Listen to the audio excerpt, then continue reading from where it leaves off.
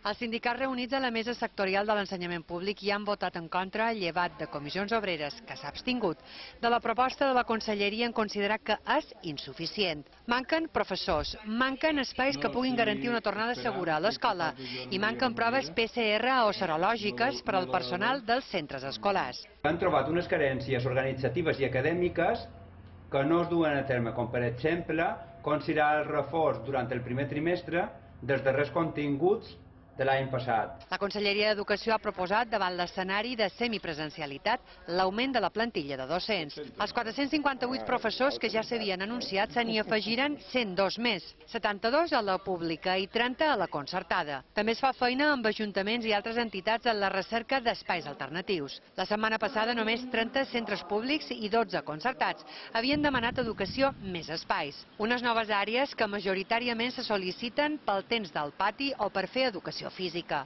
Amb aquests espais nous, el conseller Marc afirma que es garantirà la baixada de les ràtios. Hi haurà ràtios eh, entorn de 20, evidentment, alguna, hi haurà de més baixes, és a dir, fins i tot a zones de, de Menorca hi pot haver ràtios d'11 o 12 alumnes per aula, diguem, tant d'infantil i primària.